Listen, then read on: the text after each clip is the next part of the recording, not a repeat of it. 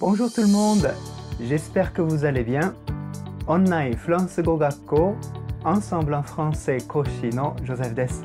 今日もとっても役に立つフランス語の表現をご紹介したいと思います。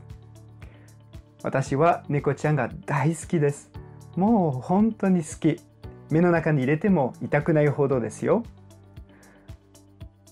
どうしてこんなに好きかと聞かれてもどうしてもとしか言えないんですよね。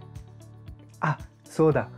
今日はこのどうしてもをフランス語でご紹介しますね。parce que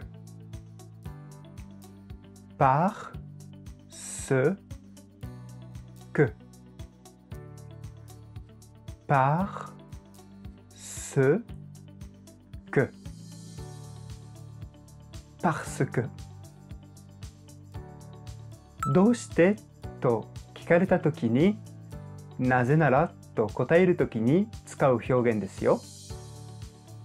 でも理由を聞かれても答えられないとにかくそうなんだという時にはこのバクスクだけでどうしてもという意味で使うことができますよ。私は猫ちゃんを大好きな理由はうまく言えないけどどうしてもとにかく好きなんですよ。さてもっとフランス語を学びたいという方は、アンサンブルのレッスンでお待ちしています。Je vous dis à très bientôt. Allez, au revoir.